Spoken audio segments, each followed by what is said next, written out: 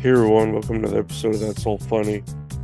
Uh, episode number six fifty five. We're doing it. We're we're no, we're here, chilling. Uh, I know I had some issues. Yes, well, had a couple interviews. They're great. No, uh, uh, everything's great. They're great. No, I had a couple interviews. I had issues with my mom being here yesterday.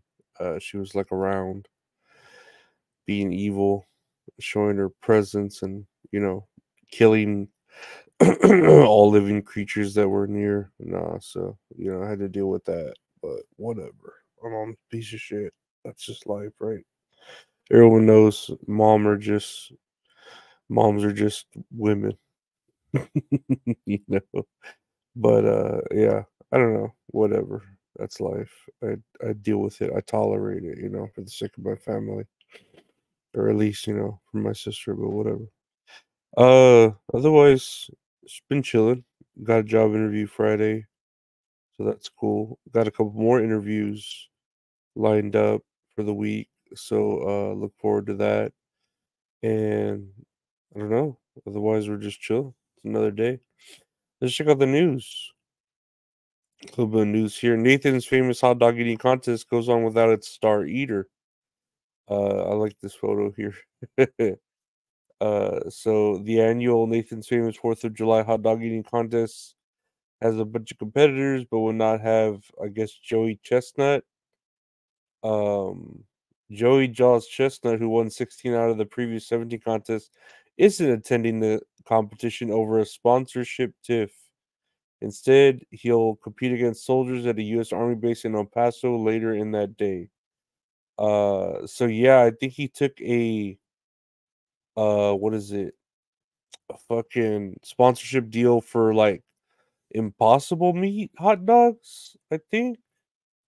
One of those hot dogs that uh is like not really meat but meat substitute and nathan's famous did not like that and so they like barred him from uh you know yeah he's doing impossible foods the vegan products he was promoting them, so they were like, "Nah, fuck you. You don't. We don't want you in our contest anymore." And that sucks, but that's what happens, you know.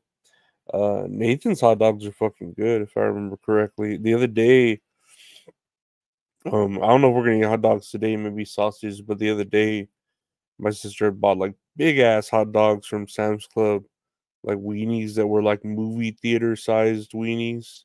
You know, the kind that they used to serve like in gas stations and movie theaters, real thick, fucking uh girthy ones. and and those shits were fucking good, dude. I love a good hot dog. And uh yeah, their strategies here are pretty sickening where they like soak them in water and eat them, but you know, it's a contest, everything goes. I think I got a promo on a parlay for it and I think I won like five bucks with that. So with that five bucks, I'll try to bet on something else like a WNBA game or something, and see if I can turn that five into um a hundred bucks or something. But I doubt it. so you're gonna eating hot dogs. Uh, Sean Diddy Combs hit with fresh lawsuit alleging sexual assault, sex trafficking. Uh, yeah, he just keeps getting hit. Uh, the the complaint marks the ninth sexual assault lawsuit filed against the rapper since last November. Um, so yeah, he just keeps uh, a draw, Adria English and English, uh, Adria English, an adult film actor who says she worked with Combs, accuses the rapper of conducting and participating in RICO enterprise sexual assault, sexual harassment, and sex trafficking, according to legal documents. Blah blah blah.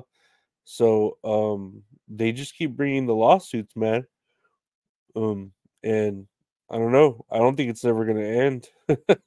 he he did something wrong to piss off the uh, uh, Illuminati, and they are just going to keep uh, pegging him with these lawsuits uh, until he, uh, you know, Epstein's himself or something. I don't know.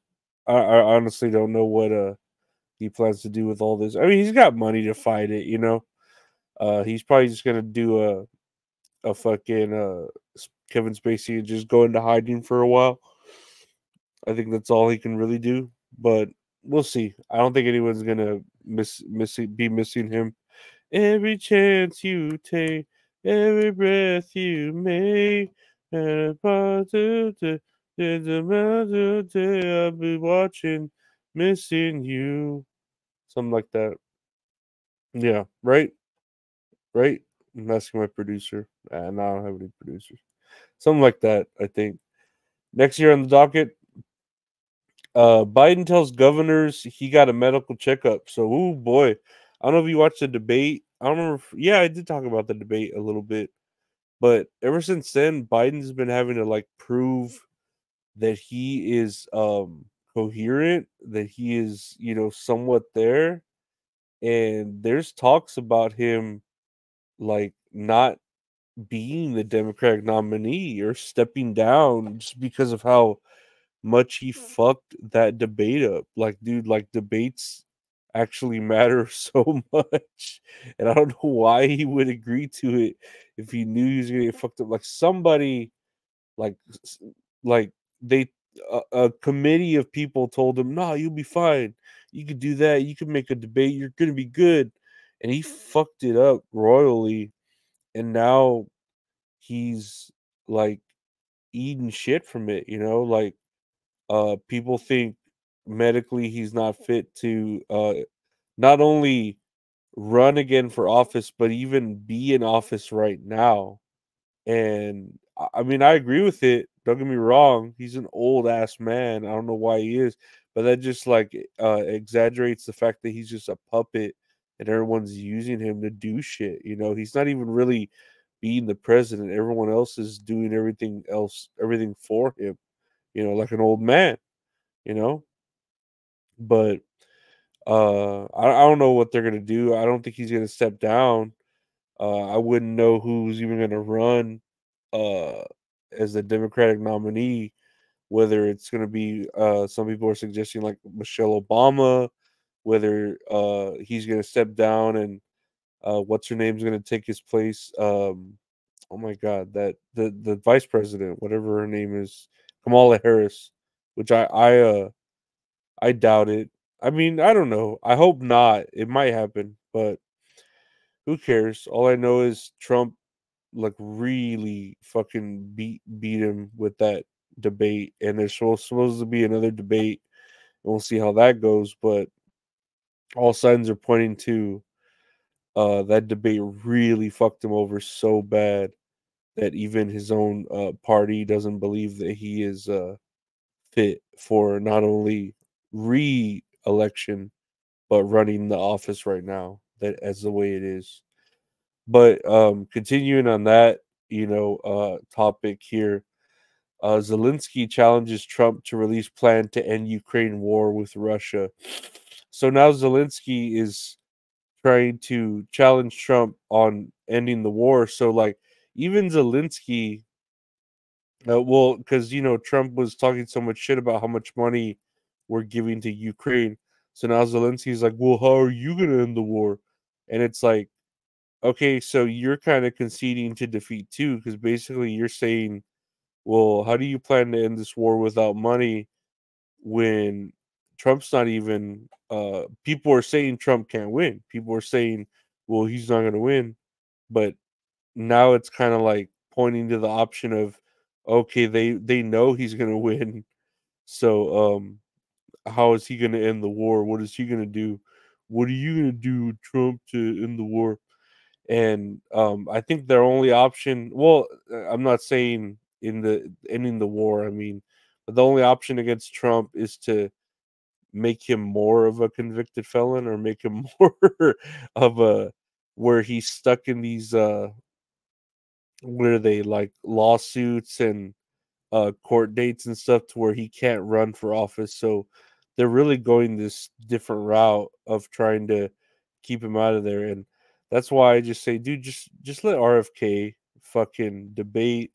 Just have RFK there, or have the Democratic Party choose RFK instead.